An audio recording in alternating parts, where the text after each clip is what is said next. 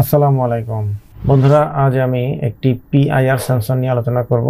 এটিকে আমরা অনেকেই মোশন সেন্সর কিংবা হিউম্যান সেন্সর বলে থাকি। তো এটিকে আমরা পিআইআর সেন্সর মোশন সেন্সর বা হিউম্যান সেন্সর যে নামেই ডাকি না কেন, এটি মূলত একটি প্যাসিভ ইনফ্রারেড সেন্সর যেখানে দুটি সেন্সর থাকে একটি প্যাকেজের মধ্যে।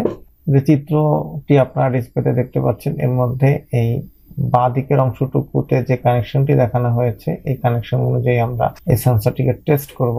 এই সেন্সরের সঙ্গে কোনো এলইডি ইন্ডিকেশন নেই, তাই সেন্সরের আউটপুট স্ট্যাটাস কি সেটা আমরা একটা অ্যাডিশনাল এলইডির সাহায্য ছাড়া বুঝতে পারব না, তাই এখানে এর আউটপুটের সঙ্গে একটি অ্যাডিশনাল এলইডি সংযুক্ত করা হয়েছে। এলইডির কাতর টার্মিনালটি সার্কিটের গ্রাউন্ড কানেকশনের সঙ্গে সংযুক্ত করা হয়েছে এবং এই পিনটি হচ্ছে সার্কিটের পজিটিভ সাপ্লাই অর্থাৎ এটি ভিসিসি এখানে পাঁচ থেকে বিশ ভোল্টের আনরেগুলেটেড ডিসি সরবরাহ করা যাবে। এটি হচ্ছে আউটপুট আর এখানে একটি ফরওয়ার্ড বায়াস ডায়োড ব্যবহার করা হয়েছে, এটার প্রোটেকশনের জন্য। অর্থাৎ আমরা যদি ভুল করে এখানে কোনো কারণে পজিটিভের পরিবর্তে নেগেটিভ সরবরাহ করি, তাতে সার্কিটটি যাতে ক্ষতিগ্রস্ত না হয়। সেই জন্য একটি ফরওয়ার্ড বায়াসে ডায়োড ব্যবহার করা হয়েছে এবং এর ভিতরে একটি built in three point three ভোল্টের রেগুলেটর ব্যবহার করা হয়েছে। অর্থাৎ আমরা এর ইনপুটে আনরেগুলেটেড ফাইভ ভোল্ট থেকে টোয়েন্টি ভোল্ট ডিসি সরবরাহ করলেও এর output three point three volt যা কিনা এই কন্ট্রোল আইসিতে সরবরাহ করা হয়েছে এবং সেন্সরে সরবরাহ করা হয়েছে। এবং এখানে দুটো ভেরিয়েবল আছে। এই ভেরিয়েবলটি দ্বারা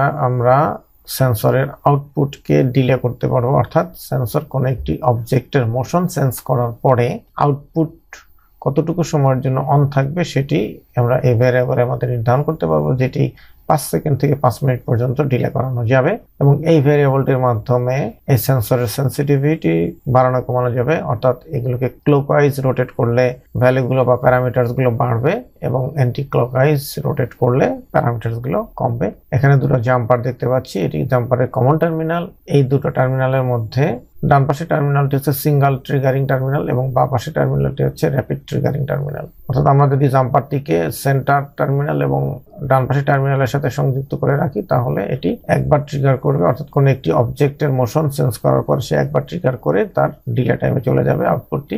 আর বা পাশে সংযুক্ত করলে এটি অবজেক্টের নড়াচড়া যতক্ষণ থাকবে ততক্ষণ পর্যন্ত অবজেক্টের নড়াচড়া সে ডিটেক্ট করবে এবং অবজেক্টটি সম্পূর্ণরূপে থেমে গেলে এরপরে ডিলে টাইম কাউন্ট করবে। এই হচ্ছে সিম্পল একটি সার্কিটের বর্ণনা এবং এই সার্কিটটি দ্বারা যদি আমরা এর আউটপুটের মাধ্যমে কোনো একটি রিলেকে অপারেট করতে চাই, তাহলে আমাকে এই চিত্র অনুযায়ী সংযুক্ত করতে হবে।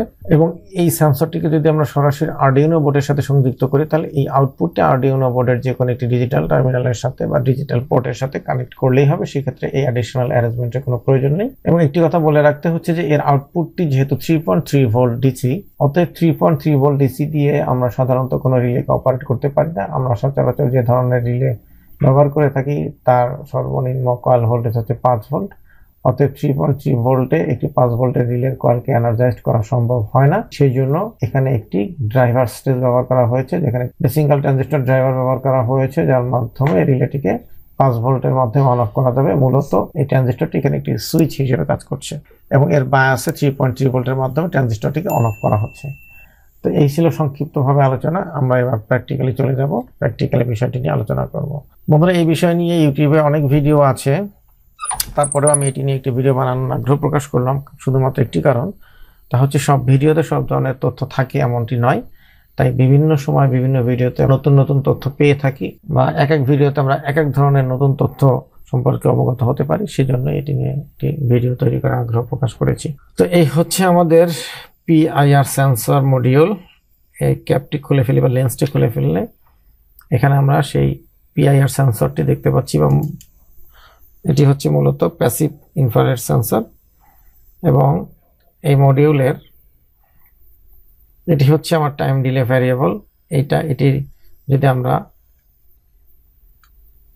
এইভাবে এইভাবে ঘুরাই, অর্থাৎ ক্লোকওয়াইজ ঘুরাই, তাহলে ডিলে টাইম বৃদ্ধি পাবে এবং অ্যান্টি ক্লোকওয়াইজ রোটেট করলে ডিলে টাইম হ্রাস পাবে। আমি একদম মিনিমাম রেঞ্জে রেখেছি।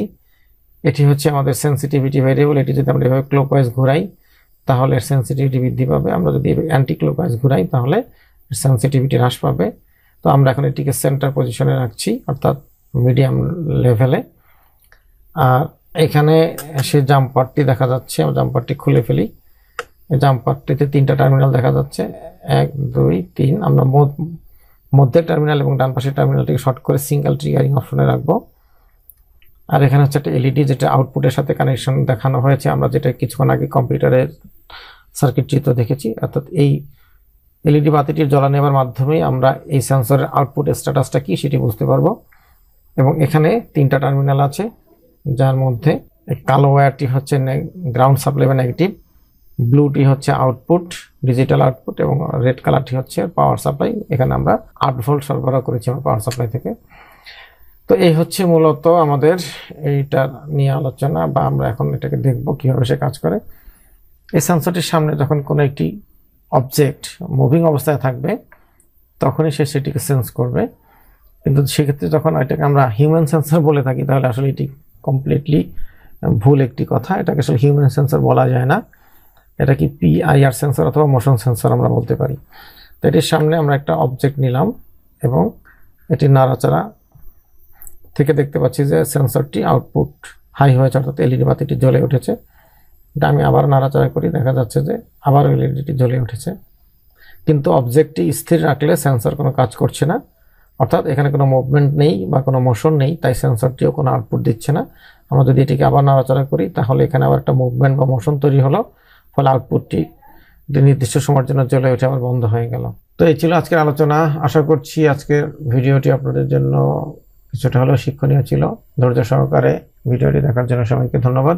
কথা হবে পরবর্তী ভিডিওতে। সে অবধি সবাই ভালো থাকবেন। আল্লাহ হাফেজ।